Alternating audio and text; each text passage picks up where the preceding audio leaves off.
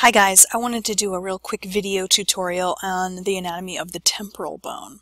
And so I'm going to use this um, Human Anatomy Atlas by Visible Body that we've been using in class.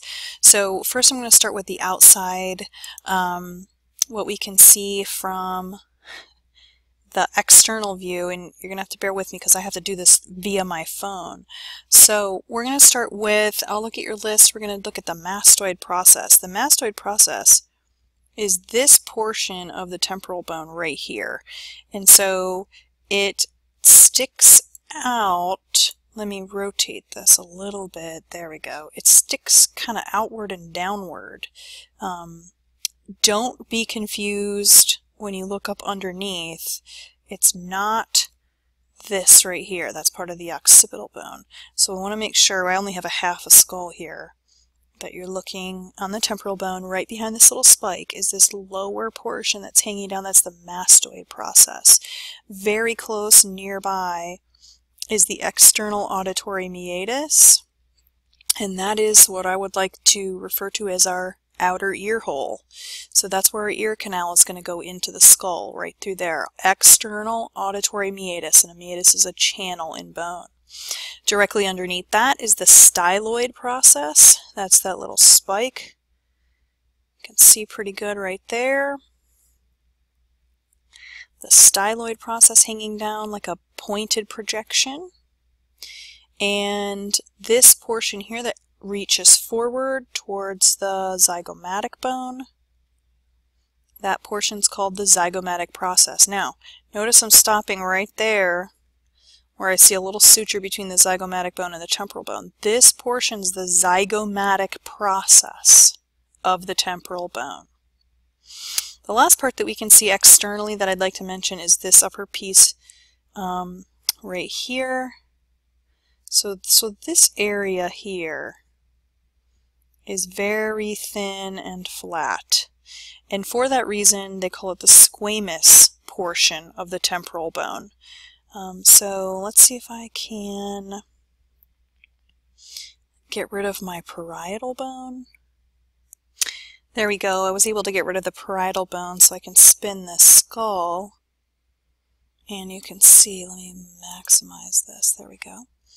So as I spin, you can see how thin and flat this portion of the temporal bone is. Watch this area.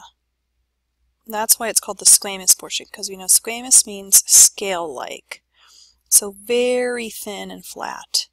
And that takes us to the internal view of the skull. So here's a sagittal view, mid-sagittal. And I actually want to tip this up a little bit so that we can see there's our temporal bone. And I'm going to mention this part right here. We've got two internal parts that I want you to know. The let me find my annotation tool here. This opening right there is known as the internal auditory meatus, and so that's kind of an internal um, continuation of the external auditory meatus, and so that's on the internal view of the skull. And that's a part of this portion right here trying to stay on track. It's kind of hard to do with my hand. Um, that's called the petrous portion of the temporal bone, and petrous means rock-like. So if I twist and turn this, you can see it looks like a little mountain range inside there.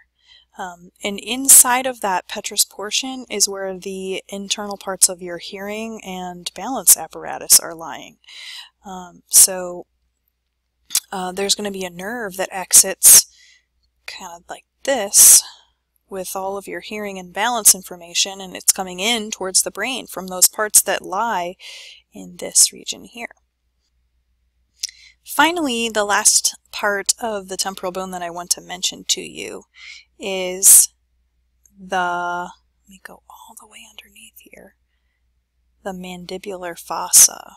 And so as I'm twisting and turning, what I want you to notice is how the mandible and the temporal bone make a joint here.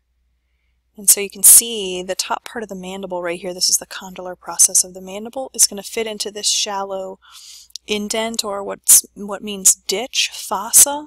And so if I highlight the mandible, and I think I'm going to just fade that. No, I want to hide it altogether. Um, we see this little part right here. Let me get my tool. This shallow indentation where the mandible fits into the temporal bone and forms the only movable joint of the skull, that's known as the mandibular fossa. And so let me show you that from just a little bit different angle from underneath. I removed the mandible, but I still have, there's my temporal bone, and there's that mandibular fossa right there.